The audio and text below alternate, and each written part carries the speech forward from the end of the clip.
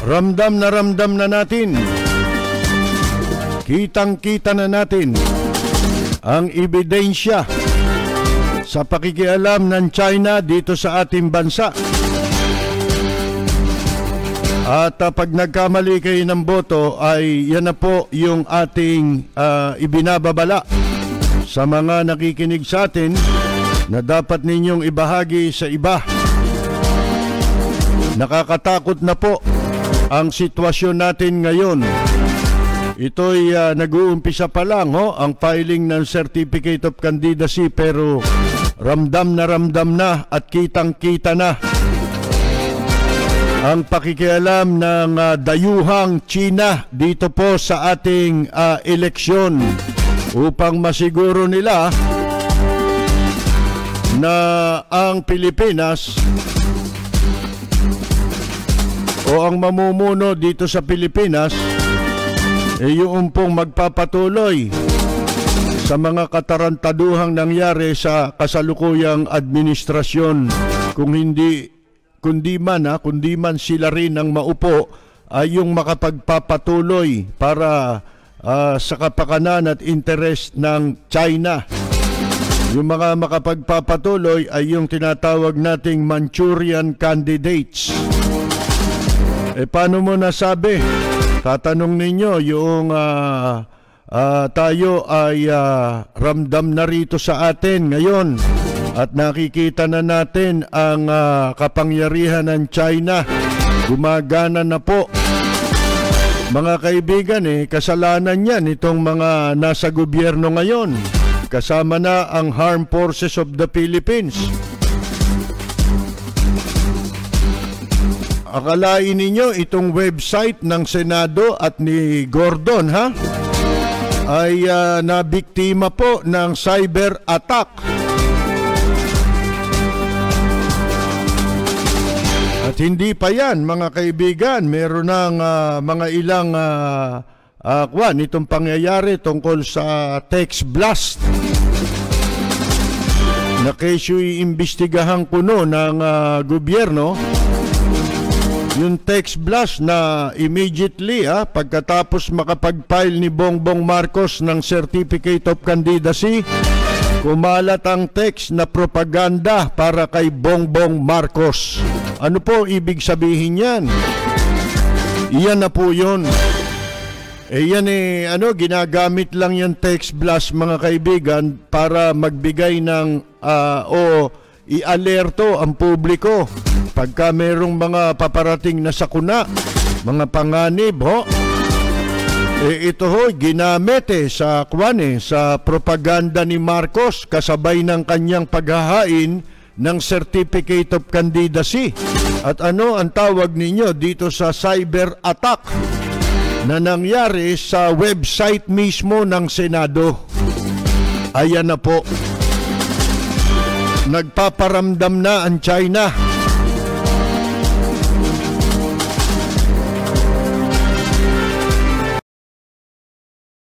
Tiyak na hawak na nila yung mga troll na yan, mga kaibigan. Ano ho?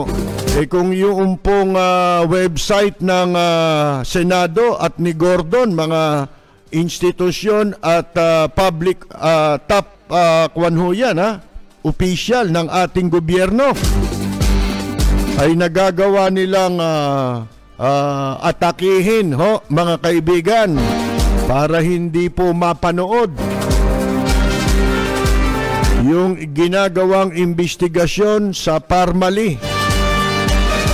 Eh, Siyempre, interest ng China yan ang presidential election ay dito ngayon ha, itong 2022 election ay interest ng China ang nakasalalay po dyan.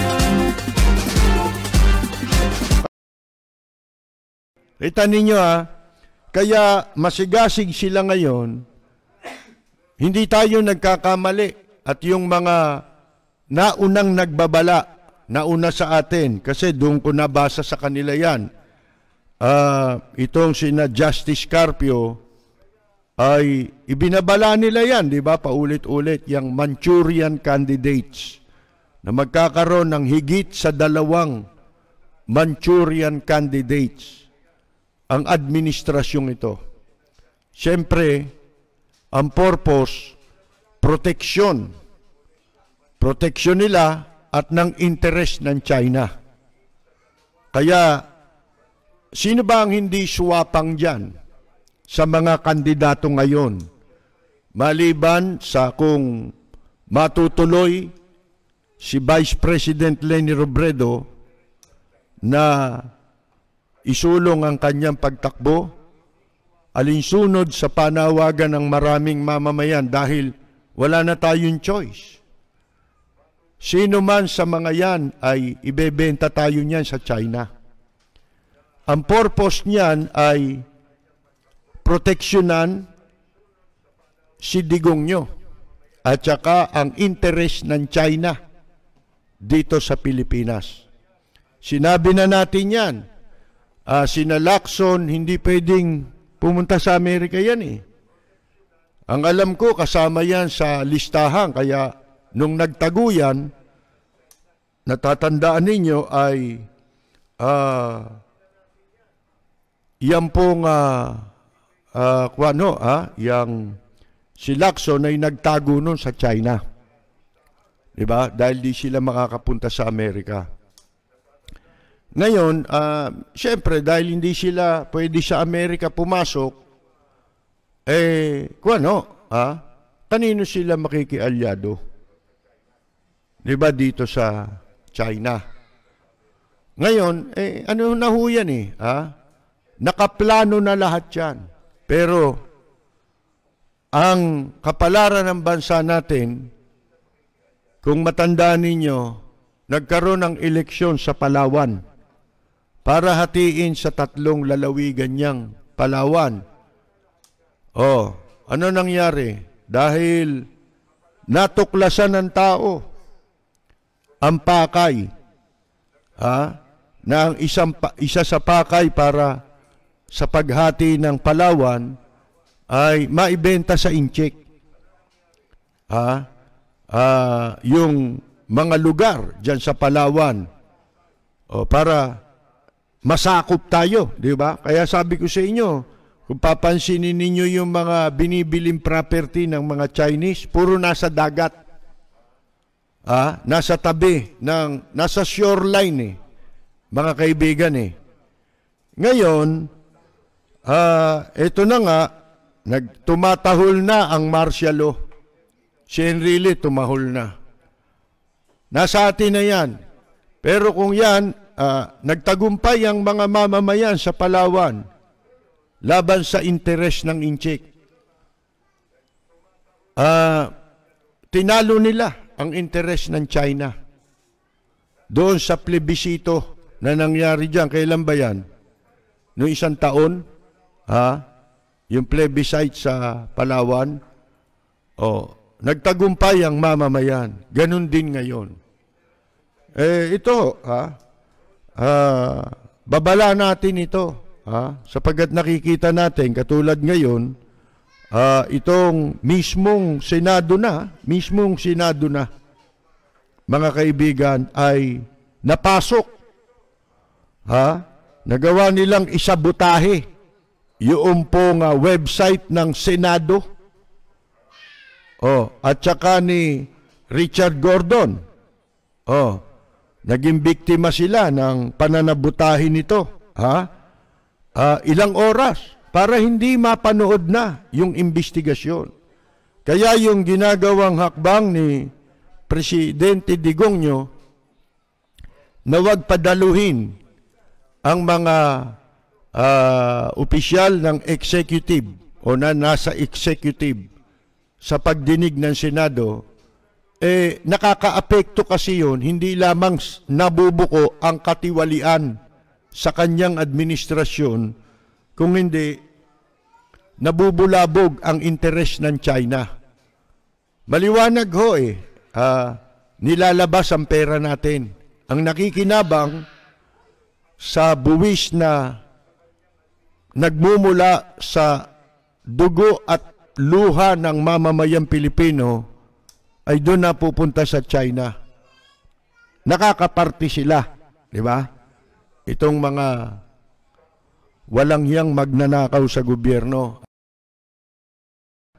Ngayon, isipin ninyo, website ng Senado tsaka ni Gordon ay sinabutahe. Ha? Oh, ilang oras po tumagal yan. Ha? Nagsimula ng 11.30 umaga hanggang nakabalik 7.38 na. Ha? Itong uh, uh, website ng Senado ng gabi. Oh. Uh, yung kay Gordo naman ay uh, nasa butahe ng alas 7 ng umaga, alauna ng hapon, ha, nakabalik. Ang sinasabing dahilan, coordinated online attack. Sino may kakayahang gumawa niyan? Ha? At nung tignan nila, ito ay nagmula sa China. Mga kaibigan. Oh.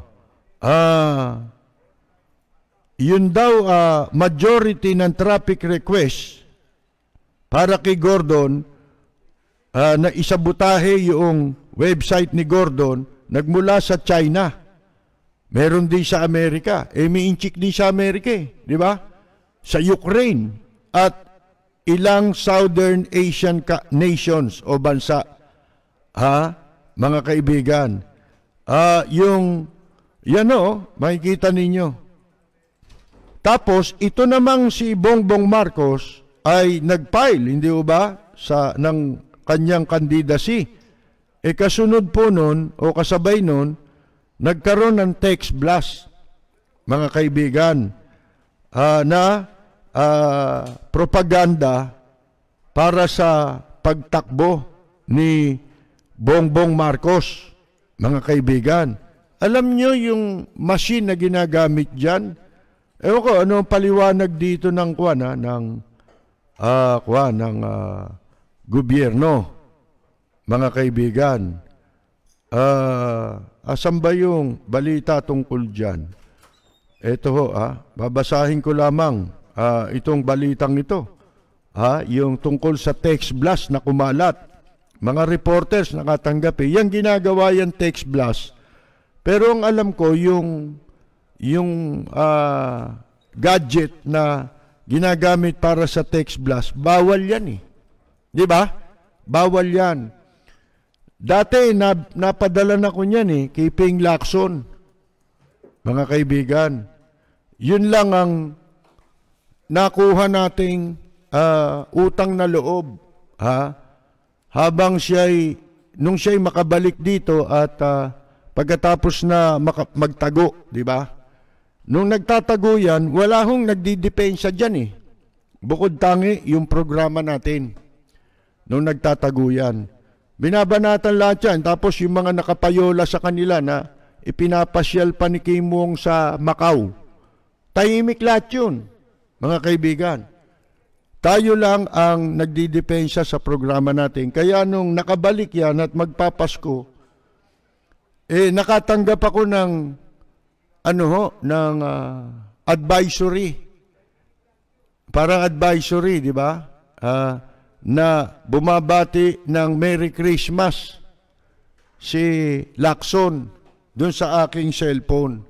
Ano yun? Text blast yun. Pare-pareho yun, padadalang kayo. Uh, nagtataka nga ako paano nakaabot sa akin yung text na yun kasi yan text blast within 5 kilometer radius yan eh.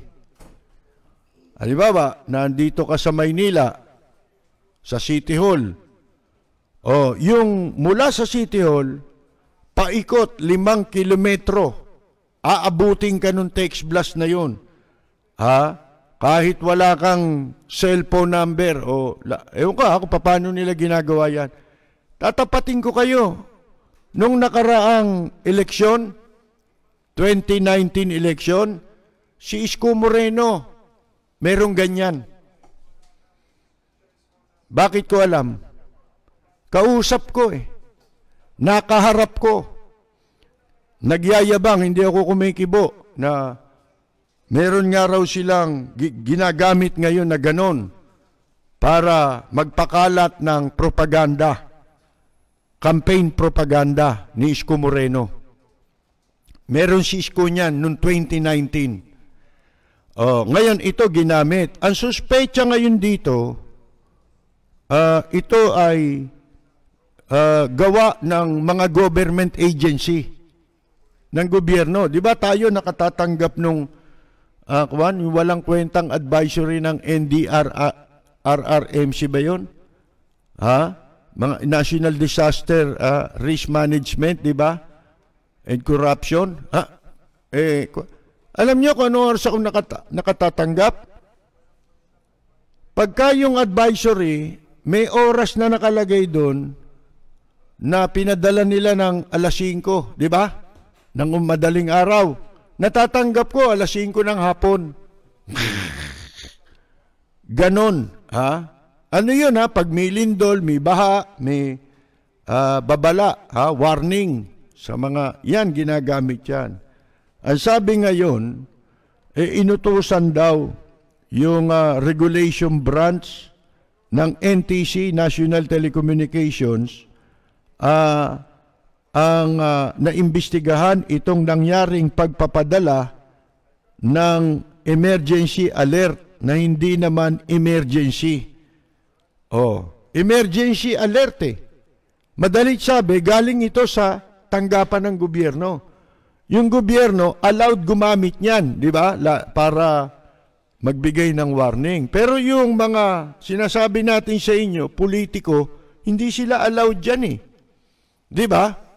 Oh, uh, ipinag-utos daw na imbestigahan uh, itong emergency text blast na nagsusulong para sa kandidatura ni Bongbong Tumbong Labas Tumbong Marcos ah, ah, na sinasabing ang telecommunication companies ay hindi raw nanggaling sa kanila yan. Yan ang hirap.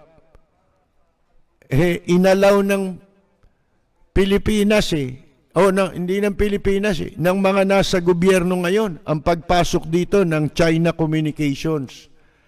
Nabawal sa batas yan. Hindi pinapayagang uh, lumahok sa anumang telecommunications business ang mga dayuhan. Exclusively yan ay para lamang sa mga Pilipino. Kaya sabi ko na sabi na natin kanina ay ramdam na ramdam na natin at nakikita na po natin ang uh, ho, ang uh, pakikialam Ha? At hindi nakatago, ah, hayagang pakikialam na ito ng China sa eleksyon ng Pilipinas. O, isipin ninyo, sino mga may control sa COMELEC, di ba? Sino ba yan? O, di, uh, Dennis Uy, ha, na nangunguna sa, mga, sa ika nga po, eh, uh, negosyo na merong uh, investment ang China uh, na nakakakuha ng mga kontrata. Eh ba't hindi tayo masasakop? Eh sabi ko sa inyo, napakahalaga ng eleksyong ito sa kinabukasan ng ating mga anak at ng susunod pa. Antayin ba natin magkagera? Baka nga mauna pa gera dito kaysa sa West Philippine Sea na nakaamba eh. Mga kaibigan eh. Oh. Kung hindi tayo kikilos ng mga Pilipino at patuloy na pumapayag tayong mahati tayo.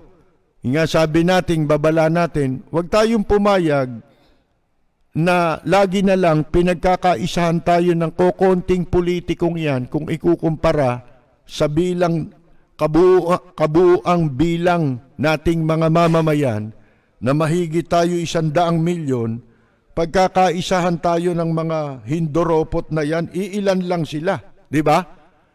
Mga kaibigan. O bakit tayo pumapayag?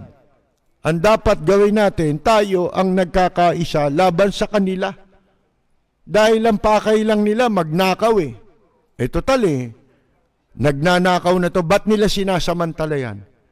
Kasi ang paniwala na nila, wala na sila, hindi, hindi na sila pwedeng mapanagot ngayon.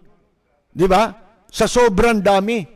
Para mapanagot mo yan, kailangan eh magtayo ka ng ano ng isang lungsod para lamang sa kulungan ng mga magnanakaw. Dahil kung sa Muntinlupa mo ikukulong yan, hindi sila kasya. Siksikan. Kaya siksikan ng mga magnanakaw ngayon. Pami-pamilya na. Si Richard Gomez, magpapalit naman sila nung asawa niya. Mga kaibigan, di ba? Tatakbo naman kong... Anong alam nitong mga ito? Ha? Hindi naman sa pangmemenos. Bakit na tayo pumapayag na payayamanin natin sila habang tayong mga mamamayan ay naghihirap? Papahirap ng papahirap. At lahat ng patakaran, pag wala na silang manakaw, may lumilitang nakaw o kaya eh, naliliitan na sila sa nakaw, bay dagdagan natin ang mananakaw. Paano natin dadagdagan yan? Wala tayong pagkukunan. E di pahirapan natin yung tao, singilin natin ng mas mataas na buwis. Hanggang sa ano na, biya mo sila mamatay sa gutom. Di ba yan ang sabi ni Digong nyo? Mahirap kayo? Ha? Po, ha? Minura pa eh. Wala akong pakialam kung mamatay kayo sa gutom. Di ba yan ang sabi niya? Meron pa tayong video niyan eh. Mga kaibigan. Oh, so yan po, ano. Walang preno kung bumatikos. Malalim at makatwirang komentaryo. Mag-ingat ang mga politikong gumagawa ng kalokohan at baka kayo ay tamaan ng Lapid Fire!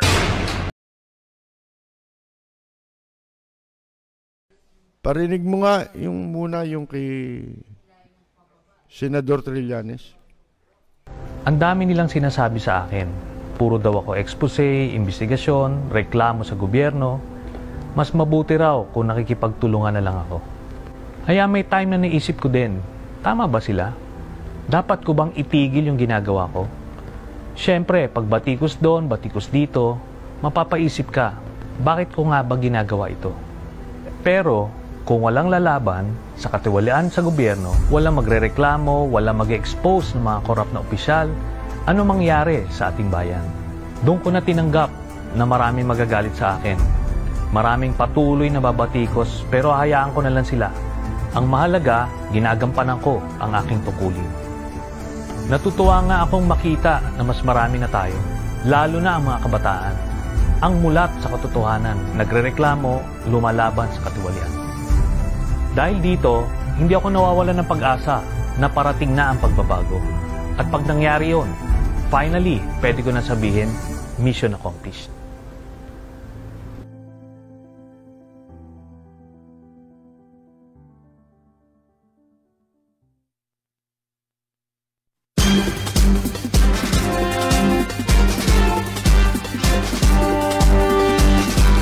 Pinasok ko na ho kasi ah, para napapakinggan na rin sa radyo no hanggang alas 11 kasi napapakinggan pa tayo sa DWBL.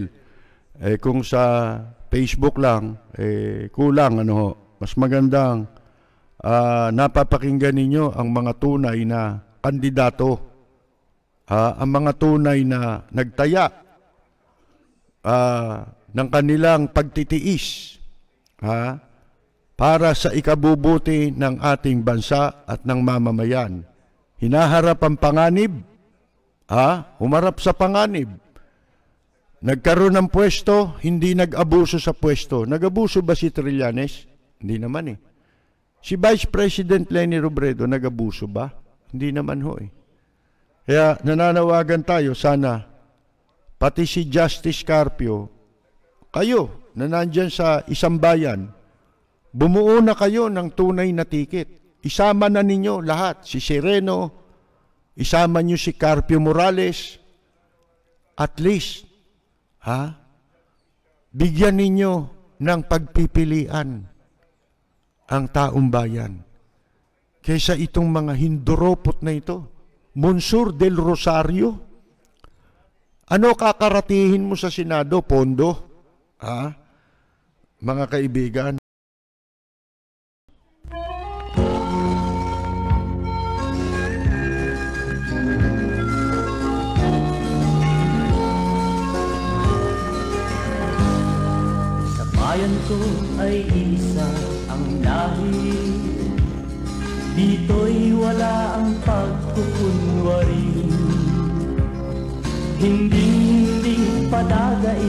sadyang kilala sa daigdig May pagkakaisa sa bawat nais Walang nang aapit ang pag Ito po si Percy Lapid Maraming salamat at magandang gabi! Ben!